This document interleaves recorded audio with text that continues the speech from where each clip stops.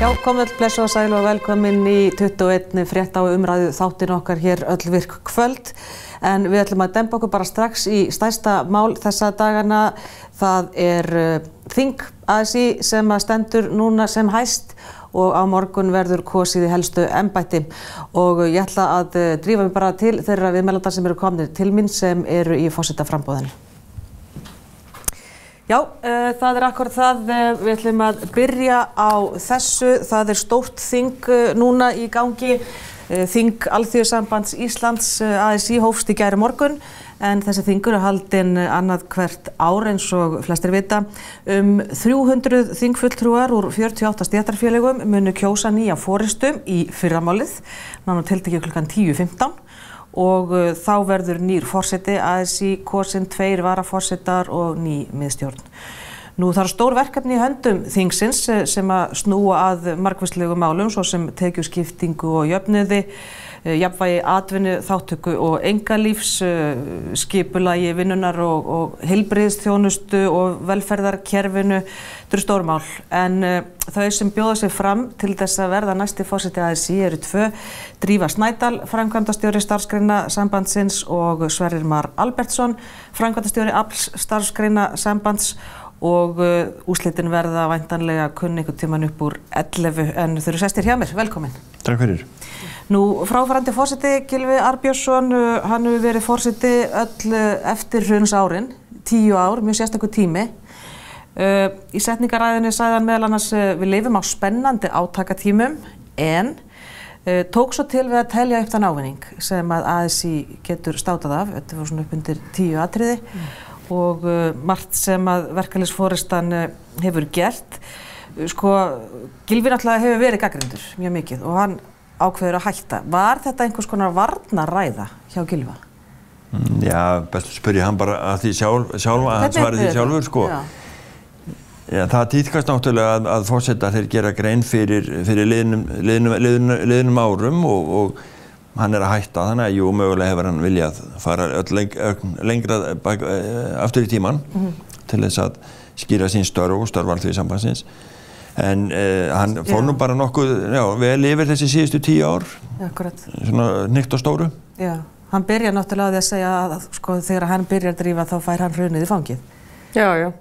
Uh, og þetta er svo sem ekkert verið neina óska staða að hérna byrja þarna og ég nöðt nú um eitt áhugavert sem hann sagði að því að verkefælsengin hefur verið gaggrind til að hafa ekki tekið þátt í mótmálunum uh, 2008 að um, það hefur beinleins verið óska eftir því að verkefælsengi heldi sér til hlés um, þetta eru nýjar upplýsingar fyrir mig, ég vissi þetta ekki mm. og verið kannski áhugavert að heyra heyra uh, sjóna með þeirra sem óskuðu sérstaklega eftir þessu. Hann nefnir Hörð Torfarsson. Já, einmitt, ég hef nú ekki lesið nýju bókina Sarðar, en hérna... Skipilega samtök voru beðið að halda sig fyrir utan. En það verður líka til þess að eftir hraun að þá hérna fólk sem vil hafa áhrif á kjör sín og vil breyta einhverju í samfélaginu, að fyrsta stopp þeirra er ekki verkefælsefingin sem er ágefni.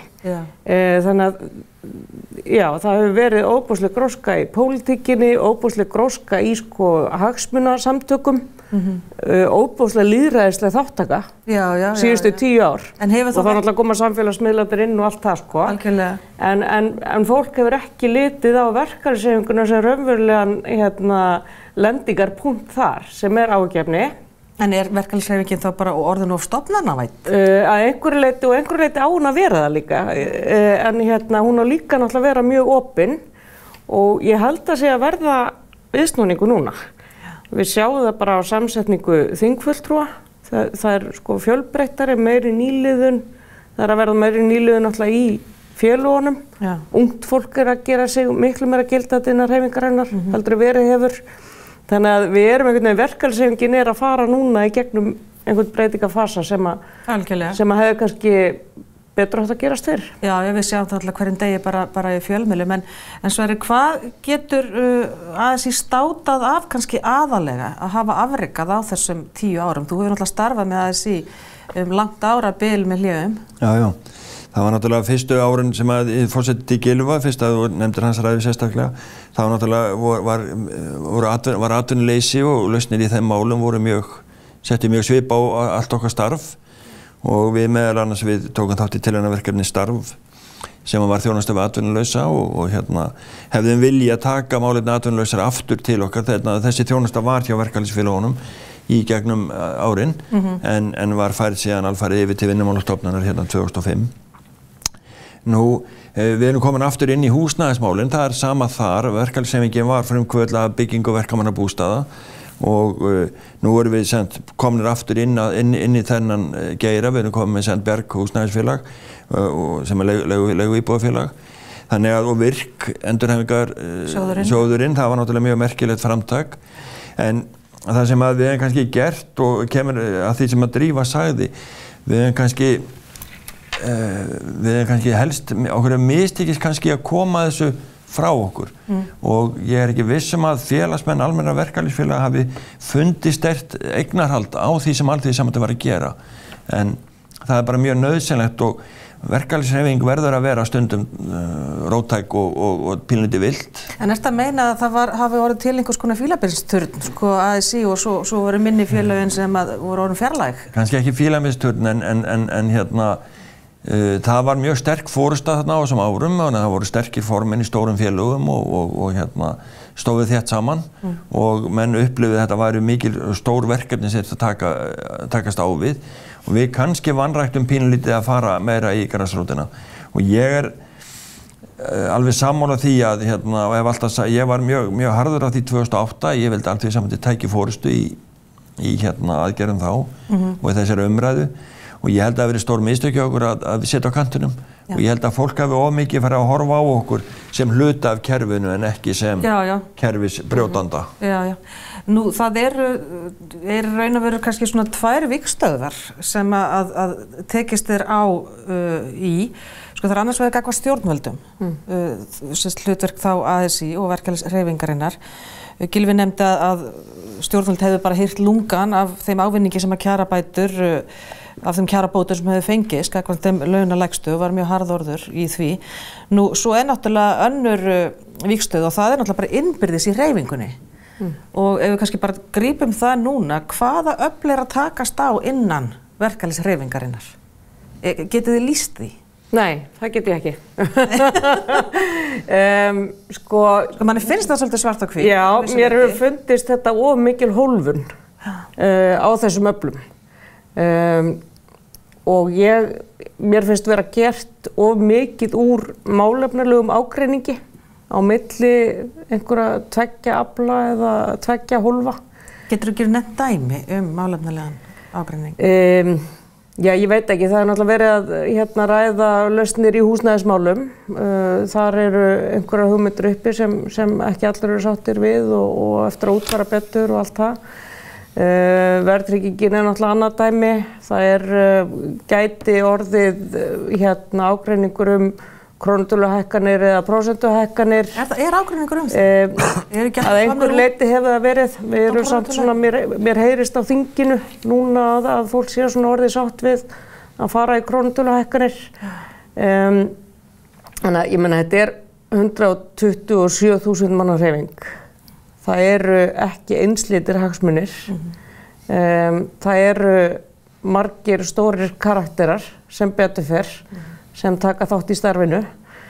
Um, en hérna eins og ég segi, ég, ég hef ekki, við verðum að passa okkur á því að smætta þetta ekki niður í einhverjar tvær fylkingar uh, og svart og hvitt, því þetta er ekki alveg svo einfalt. Nei, en það er náttúrulega að hafa komið fram með mitt sko eins og Ragnar Þór Ingólfsson, formar Vaffer og, og Solveig Anna Jónsdóttir sem er formar eblingar og þetta er svona, þetta er svona róttakara fólk mm. og það eru, og þið náttúrulega í starfsgrunarsambandinu, það eru eblingir náttúrulega innan ykkar, mm -hmm. stæst innan ykkar. Og afl. Og afl, já. já. Uh, sko, sko, er róttaknin að verða ofan á? Ég, sko, ég vil ekki skilgrina þetta sem róttakni, þessar kröfur. Þetta eru kröfur um, sko, að fólk getur lifa á launónu sínu. Ég sé ekki róttaknin í því. Mm. Uh, orðræðan er vissulega öðruvísi og það er komið ný og hörskári orðræða. Akkurat. Eh, en sko, en að halda því fram að, að það sé þeirri rosalega skattatilfæslu sem hefur orðið hérna síðustu 20-30 ár, Já. Það sem er nánast ránum hábjörsta dag, þar sem sko einnig lægslönu hafa hérna hækkað, þeirra skattbyrði hefur hækkað um 12% mm -hmm. á meðan efsta prósentið hefur lækkað sínu skattbyrðum 8% mm -hmm. ef við horfum aftur til 92-95 að, að það sé undi ofan af þessu mm. finnst mér ekkert sérlega róttakar tilugur. Nei, nei. Sko, hérna, Sverri, hvað myndir þú segja með sko, stöðuna innan? Reyfingarinnar. Reyfingarinnar. Er, er hún klófin? Þú hefur nú reynda sagt það í einu viðtali og rúf að hún væri svona hálfpartin klófin í herðar niður. Ég, það er náttúrulega... Það er sumar sem að þú sagði þetta? Já, en það er náttúrulega hérna, jújú, jú, það hafa verið átök og það hafa verið tekist á innan félaga, þarna stóra félagi, eins og nefndir Eblingu og, og verið harða kostninga þar. Það var harðu formannslagur hjá ykkur, nei hjá hérna velstjórasambandinu eða hérna Vafem, já. Já, já, það hafa verið að koma, koma fram nýjir einstaklingar, en, en sko ég, ég er ekki að upplifa það sko að, að, að róttaknir hreyfingunni sé eitthvað ný. Meina, það er búið að vera, við höfum verið mörg sem höfum talað fyrir miklu róttækari uh, málflutningi síðust ár en við höfum kannski gert það inn í, inn í okkar hópum og ekki farið með það mikið út. En það er bara eins og að það er mjög gleðilegt að það eru, það eru formen núna sem að tala til tæpitunguleust og, og svona, fara fram með svona doldið hörku mm. og það er kannski, já, það er svona, við erum aðeins að taka beigju. Við höfum mikið verið í þessu módeli að eiga þrýlega viðræði við stjórnvöld og, og, og hérna það hefur verið, já, það hefur verið náttúrulega ofan á undanfærin það hefur verið þetta svo kallega skandinaviska módel og, og við höfum kannski hort á það í nákvæmlega landunum að það hefur skilað miklum ávinningi. En það er náttúrulega verða deilur þar og verkvöld og annað í nákvæmlega landunum líka. En við erum að fara kannski pilandi meiri átaka ham núna. Já. og það, er, það ásið bara mjög eðlilega skýringar af því að eins og drífa kom inn að hana stórkostlega skattatilflutning og það eru stjórnvöld og atvinningur þeir geta, þeir eiga þessi mögulegu átök eða þessar stöð, þeir eiga þetta alveg skuldlaust því það er bara eins og sem verður búið að storka fólki í síðust ár Já. og e, það er þessi, þessi ofsalega skattatilfærsla, það er að mynda sérna hópur af fólki sem er að festast í fátækt og sem er nokkuð nýtt, var náttúrulega, það var alltaf verið til fátækt á Íslandi en hún er, hún er vaksandi, þessi hópur og á sama tíma koma þessu menn svo fram gleðgóðsarleir og eru þá að taka sér einhverjar miljónir í launauka eða, eða, eða þannig að herru uppæðir og það er annað sem er alveg einstætt það er mjög sérstakt að það eru, það eru yfirmenn hjá ríkistofnunum sem eru leiðandi launathróun þetta þekkist bara ekki Já. annar staðar. Þannig að, að stjórnveld og, og, og hérna atvinningendur e, þessi fjármála öll þau eiga þetta ástand alveg skuldlaust. Það er búið að gera fólk svo reitt En, en voru sko þessi skrið sem voru tekinni átt að salegsamkommalagi mm. og þá erum við að tala um að verkefælisforistan sem sé, sé í nánum samræðum við stjórnvöld, við politíska afl. Því hérna verkefni það var ekki til líkt að leitt og uh, það er spurning hvað verður um það. Mm. Voru það mistök að fara svona í hérna í svona náið samráð í svona nána, kannski ekki sambúð en með stjórnmálaöflunum. Var það þannig sem að fólk kannski misti einhverja tiltrú á verkefælisfórustin? Ég, ég held að það sé ekki málið. Uh, ég held uh, sko að mínum að þið á verkefælisefingin að vera í óbúslega miklu samtali við stjórnvöld alltaf og taka allt það samtal sem býðst uh, algjörlega. En sem, þessi tilröð með Saleg var einhvers konar tilröð til nýrar þjóðarsáttar. Ennett. Og það eru nokkur ráefni sem þarf að vera til að úrverði þjóðarsátt Það er að fólk getur lifa á laununum sínum, að fólk hafi sæmilegt helbriðiskerfi og mentakerfi og að engi sér skilin eftir. Uh, og síðan þarf að gera þetta í mjög viðtækri sátt. Uh, það var ekki gert. Mm. Fólk svona hafði á tilfinningun að samtali væri ekki tekið við alla. Mm. Þetta var ekki í viðtæku samræði, nógu miklu. Og síðan náttúrulega vantaði þennan félagslega vingil algjörlega inn í þetta og, og þegar sko hérna uh, þegar hálönu hópar fara og semja miklu meira fyrir sig og þegar hérna fórstur að fyrirtækja skamta sér ofurlaun að þá er ekkert umninn að sátt að ræða. Ja. Þannig að sko það vantæði nokkur ja. svona ráefni inn í þetta ja. og uh, þannig að þetta var eiginlega döðdæmt. Ertu samanlega þessu verið? Já, það var sko, ég held, það var líka eitt sem skemmti ofsalega fyrir sal, sko saleg hugmyndin er ekkert svo gali, ég var enda á mótfallininu en það var af öðrum ástæðum, en, en hérna saleg hugmyndin hún er ekkert svo gali, þetta átt að reyna að tryggja það að engir, hó, engir, engir einn hópur færi klifra upp á herðarnar og öðrum og, og færi fram úr. Já, já, og- Þetta treyði einhvern svona, einhvern réttlæti áframhaldandi Höfrungahlaupið. launa, já. En ég held að fólk upplifði þetta svo mikið sem sagt komandi ofan frá og niður Já, já. og einhverja tilskipun, fólk, fólk var að upplifa þannig og það var eins og drífa nefndi og það, það, það var alltaf að vera að tala um eitthvað samnorrana uh, hérna, samningamódel og það var alltaf að tala um eitthvað samnorrant kerfi í þessu. Og við erum bara með alltaf stöð í húsnæðismálum og heilbyrðismálum til dæmis heldur í Norðurlöndin þannig að fólk var ekki alveg að tengja og svo bara fóru hópar að það voru ákveðni stórir hópar sem að vildi ekkert vera með í þessu þannig að þetta var eiginlega andvaran fætt og, Já. og það var verið að reyna að koma sá með vöðvaefli og það bara tókst ekki. En það kannski var miskilingurinn að sko að Íslands samfélag er náttúrulega svo ofsalega frábriðið uh, hinnum samfélagunum á, á Norrlöndunum að sko að vera með eitthvað mótil að koma því ofan á allt öðruvísi samfélag. Ég meina, var Já, ekki sko, mikil bjart síni. Þetta var alveg rosalega bjart síni af því að við erum ekki með sama svona grunn til að standa á eins og norrænu samfélagin. Norrænu samfélagin har miklu sterkari hefðir, það verið óbúslega mikil tenging, verkalsefing, pólitík, uh, sósíaldemokrater hafa farið með völdin, uh, nánast óslitið á Norðurlöndunum, ef maður bara alhæfir svona með einhverjum undatekningum uh, í ára tíi. Verkalsefingin hefur haft mjög gott aðgengi að stjórnaráðinu alltaf og uh, félagslegar úrbætur hafa verið unnar í nánu samstarfi pólitíkur og, og verkalsefingarinnar. Uh, þannig að fara að stökkva inn með eitthvað norrænt mótel inn í sko inn í eitthvað samfélagis og Ísland sem sko, við minnist bara merkilegt orði stöðuleikis í orðaforðanum okkar. Því að við þekkjum ekki stöðuleika í sko atvinnugreinum eða pólitík eða efnahag eða veðráttu eða náttúru eða, eða hvað það er sko. þannig að þú veist Það er ekki að halda hérna NATO-æfingu alminlega, þetta frestinni vegna veðus og svo þetta herskipin á snú aftur vegna þess að Já. þetta brotsjó. Já, já, nákvæmlega, þannig að þú veist, við erum sko, menningin okkar er hérna ekki á þessu stað og það þýðir ekkert að fara að líta á Ísland sem einhver smálönd í Svíþjóð og, og, og fara að setja sko norræna móteli þarinn, það er, það er hérna, Við erum bara öðruvísi, það er bara búið að byggja Ísland uh, upp öðruvísi, Íslands þjóð. Þeir búa líka við annað, allt annað, þeir búa við annað, annað efnaðsumhverfi og þeir búa við annað gjald, aðra, aðra gjaldmeila. Þeir eru með miklu meiri stöðuleika. Þeir eru beinni samkeppni við nágrann sína bara hinum með landamærin. Já, já. Þannig að, þannig að þeir eru bara í allt, allt, öðrum, allt öðrum, á allt öðrum stað. Já, og svo er kannski ágætt að bæta því líka við að norræna móteli er ekki eitt mótel. Þetta Já, er já, útvært mjög mismunandi í, í mismunandi löndum og ég er ekki trefin að þeirri þróun sem á sér stað á Norðurlöndum núna og ég held að við ættum að passa okkur mjög vel á því. já, Eh, Til dæmis í Finnlandi var gert svo kallað hérna, stöðuleika sáttmáli eða samkeppni sáttmáli sem þetta var kallað. Vinnandi fólk þar er farið að kalla þetta gjaldtróta sáttmálan af því fólk verður gjaldtróta og getur ekki unni fyrir sér. já, já. Uh, vinnudagur lengist, uh, verið að svifta fólk orlofsdögum, allt í nafni samkeppnis, gera ríki samkeppnishæfara, minga atvinnleysi, það verður ekki gengið eftir.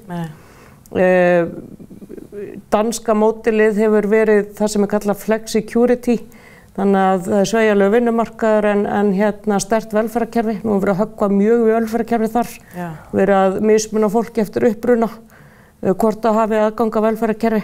Já. Ríkið er nánast að rekka sko þrælasölu með því að hérna skilir það uh, fólk frá hérna hælisleitundur til að vinna langt undir lámaslunum þannig að Já, já. veist, Sko, hérna við verðum að passa okkur svolítið við tölum um Já, norræna kerfi sko. Já, já, það kannski vísar þá svolítið bara meira þá í, í fortíðina, um hvernig það var. Já, já, bara á tíma Úlof Palme, já, já, alla daga, sko. Það er, það er aðtökluslega framhald á þessu sko að, að við höldum alltaf ef við horfum til Norðurlandana þá séum við að horfa á eitthvað miklu fullkonarkerfi og það er eins og drífa að koma að það er ekkit eitt norrænt uh, samningsmódel, þau eru mismunandi millir landa og, og, og hérna. En það er líka annað að íslensk verkefælisefing hún er allt öðru seldur en þessi skandinaviska þessi skandinaviska er með miklu minni hlutild og það er því miður að gera það er að gerast í uh, Norður-Európu og víðar að það eru sérstakar atvinningar, það eru opri starfsmenn, það eru mentafólk, það eru hjúkurunafræðingar og, og verkfræðingar allir. Þetta fólk, það er allt í verkefælisfélögum.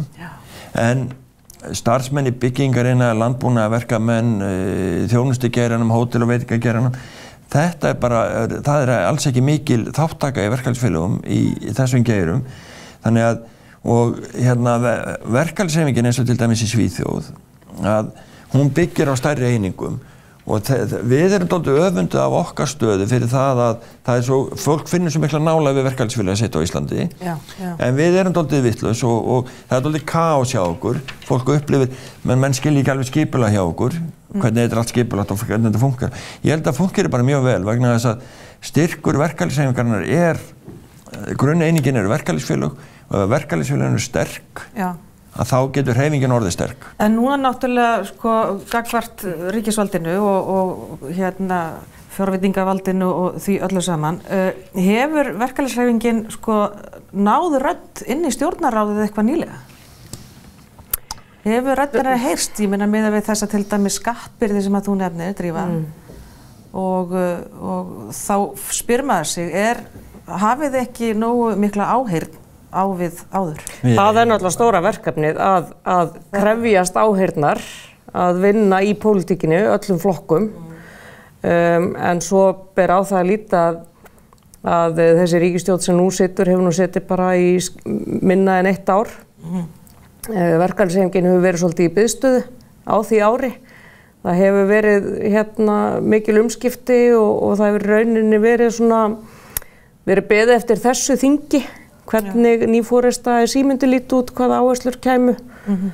um, þannig að sko, það hefur ekki verið sko, eitthvað svona uh, taktfast lausna með að samtal núna við, við stjórnvöld þar sem verkefliðsefingin er með skýrt umbúð sinna félagsmanna. Já, já, það er búið að vera samráðsfundir um ímis efnislega mál, náttúrulega sko hjá stjórnvöldum og verkefliðsrefingunni, svona og, og náttúrulega búið að gefa svolítið tónin að það sé farið að krefjast, já kröfunna séu bara, mm. kannski svolítið meira en, en sem er kannski byggust við. En mér lengur að spyrja ykkur, nú er náttúrulega fórsættisráð þeirra er, er velferðar sinni, er vinstri sinnuð, byggust þið við meiru af Katrínu Jakobsdóttur kannski? Að, að hún myndi, hvað maður að segja, tala máli verkefælisreifingarinnar að einhverju leiti? Ég býstu miklu á Katrínu Jakobsdóttur og ég vona það að þau, þeir stjórnmálaflokkar sem telja sig vera með félagsíkju taugar í sér sjáu það að verkefælsefingin vil vera þeirra samherjar og þau séu að hagsi nýja vera samherja verkefælsefingar. Hefur Katrin eitthvað syngt eh, tilbyrði í það? Sko maður vandamáli held ég að sé doldi það að, að við höfum í langan tíma, við hefum ekki átt henni að vinna á alltingi og það var hérna bara, það er ekkert svo langt síðan, 20-30 ár að það voru kannski tveir, þrýr, fjóri mistjórnamenn í allþjóðsambandinu sem voru tingmenn fyrir mismunandi stjórnmálaflokka. Mm, mm. Svo verður einhver svona reynleika hugsun að, að, að fólki verkal sem ekki á ekki að vera að blanda sér í flokkstjórnmál og svona, ég er ekki að kaupa það sko. Mm. Ég held að við erum að hvetja okkar fólk til að vera virt í hvað, bara í þeim stjórnmálaflokki sem að það Já. finnir sig heima í og við eigum að vera miklu virkar í stjórnmálum. Uh, Því að það eru, það, er, það eru bara svo mikla ákvarðanir teknar niður á alþingi sem að hafa gríðarlega áhrif á okkar afkomu já, já. og við, nei, við erum bara ekki með nærri nógu gott talsamband við stjórnvöld og, og það hefur ekki alltaf spilað stóra rullu hvort að hverjir væri við ríkistjórn því meður. Mm. En leiðið mér svona örstuðt að sko fara inn í já, já, þessa, þessa fórustu baratu. Þið eru bæði að bjóða okkur fram sem uh, fósiti ASI. Mm. Uh, núna hefur Ragnar Þór Ingólfsson sagt stiðja því ekki drífa og það er nú mhm. hérna bara nokkuð vitað. Er það við hæfi á formanni svona stórsverkefliðsfélags að uh, gefa það upp, senda það kannski skilabóðan til sinna manna? Uh, það eru bara alls konar um, skoðanir í gangi á því. Ég hef sjálf ekki sóst eftir stuðningi frá neinum, ég hef ekki óskað sérstaklega eftir. Ég fengi nokkra stöðningsyfirlýsingar, bæði hefur verið ákveð á stjórnafundum fimm aðeldafélagar starfsgrænarsapsins að stegja mig beinlýnis. Er það vant fyrir þig kannski að Ragnar Þór? Uh, nei, nei, ég bara fagnar öllum stöðningi og ég er alltaf, svo fer að ég næ kjöri á morgun og þá ætla ég að leggja mig í líma með að vinna vel með öllum. Já, og þú heldur að, að það verði Já, það verður kannski ekki alveg einfalt máli eins og mann finnst uh, staðan vera núna. Nei, nei, verkefnisbarta á ekki að vera einfalt. Nei. Hvorki innan í utan vekja ASI. Já, Sverri, greinir þú eitthvað sérstaklega hóp sem stiður þig? Nei, ég, ég hérna, hef lítið verið að veltaði fyrir mér og, og hérna það sem er taka hlýli í hendun á mér og, og, og hérna ég er nú ekkert með neina meiri spekulasjónu um það. Þetta verður bara þetta kemur ljósi í fyrramáli og þetta hefur verið einstaklega ánægilegt að glíma við drífu og við erum snýst ekki um held ég stórkonslega ágæriðinsmál en það er mjög mikilvæg verkefni framöndan því að innan þessar 127.000 meðal þessar 127.000 mann sem að skipa aldrei í sambandsfélagin er fólk úr öllum stjórnmálaflokkum og það er fólk með ólika lífskoðanir Já. og það er mjög mikilvægt að við náum að stilla saman strengi okkar að við stöndum sameigilega markmiðunum mm -hmm. Íslenska alltíða hefur bara sínt á sanna frá, frá stopnum fyrstu verkefælisfélagana að við getum gert stórkonslega flotta hluti Já. þegar við stöndum saman en ég er doldið hrættur um að ef að menn eh, ekki ná að stilla saman strengi sína næstu vikum með mánuðum þá munum við vera að fara inn í næstu kjársenningar doldið tvístruð og þá held ég að, að fjármálöfli muni eiga í fullu trefið okkur. Er, er þá drífa eins og Sverrir er að segja, eru kannski þá næstu vikur mjög svona kannski, já, hafa kannski einhver úslita þýðingu? Já, já, algjörlega. Uh, bæ, sko við hefum líka eftir að fá kröfugjörð frá þýrnamannum, skulum átta okkur á því. Já. Það er ekki alla kröfugjörðir innan aðeldafélag starfsnæðansambansins, nei, allþjóðsambansins, komnar fram. Uh, en, en það þarf að vinna mjög hrætt og vel eftir þetta þing þegar komir nýfórusta með nýtt umboð mm -hmm. þá þarf hún sannarlega að breytta bermarnar. Sko það, það er náttúrulega búið hérna uh, varðandi sko launahækkanir sem er krafist uh, núna að það náttúrulega er samflót hjá uh, uh sem sé Vaffer eða hérna landsambandi Veslunamanna, Vaffer stæst þar og og þá hjá starfsgrunarsambandinu, eblingar stærst þar. Kannski bara, bara koma með þessa spurningu inn í lókin, sko þjóðarsáttunum var gerð 1990 það var rosalega stórt skref til þess að búa til stöðuleik og frið á vinnumarkaði.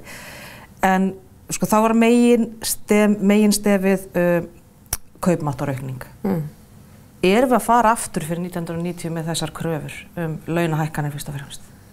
Það er engið sem er að fara aftur fyrir 1990 uh, en við náttúrulega tökum stöðun eins og neyri hverju, hverju skipti og miða við þá, þá kjararýrnun sem uh, ríkið hefur uh, tekið til sín af, af kaupmáttarreikningunum sem við höfum samið um hefur ríkið tekið til sín að þá er okkur nauður sá kostur að fara með þessa kröfur. Ef hér væri eðlert skattakerfi, ef hér væri eðlert velferðarkerfi og fólk stutt og, og skattkerfni beitt í öfnuðar, þá væri annað upp á teiningum. Já, Sverrir, eru við að fara aftur í tíma? Nei, ég vona nú ekki, en, en hérna, ég held líka, en ég held samt að ég held að sé eitthvað að byrja sem að ég vil kannski kalla uppreysna alþjóðinar eða hvað maður kalla það sko. Að, og ég er ekkert vissum að það sé bara eitthvað þryggja fjóra mánuða dæmi, það getur verið fimm ár eða tíu ár. Og, en ég held að það sé bara mjög mikilvægt að, að stjórnmálaöflin og, og uh, fjármálaöflin að þau átti sig á því að, að fólk er, segir núna hérna hinga ekki lengra og við getum, það getur vel verið sem að fara að sigla inn í mikinn átakatíma mm. ef að stjórnvöld og þeir sem að virkilega stjórna landinu ætla ekki að koma til móts við okkur. Úslitum verða ljós hvað? Haldið þið bara upp úr 11 í fyrramálið? Fyrir 11, held ég. Græna hugmyndinu sinni. Nei, Nei það, það er tala, ég held að gengi til kostninga eftir það. Já, og þá korsið í, í alla posta? Já, byrja á fórsetta, svo fyrsti og annar var að fórseti og miðstjórn. Já, gott að fá okkur hingað og stela ykkur af þinginu í háttegisliðinu en uh, sjáum hvernig þetta fer. Það er uh, Drífa Snædal, frangvæntastjóri starfsgreinarsambandsins og Sverrir Mar Albertsson, frangvæntastjóri starfsgreina sambands sem að uh, hafa verið hér hjá mér. Þau eru bæði í kjöru til þess að verða fórseti aðeins í. Takk hjálpa fyrir komina. Takk. Og hér á eftir uh, þá ætlum við að tala um fullveldisammalið okkar. Björn Jón Bragason fær til sín góðan gest sem að meðal annars bendir okkur á að Kristján Tíundi, hann las íslensku en við ætlum að fara í stuðfræðilsingar fyrst.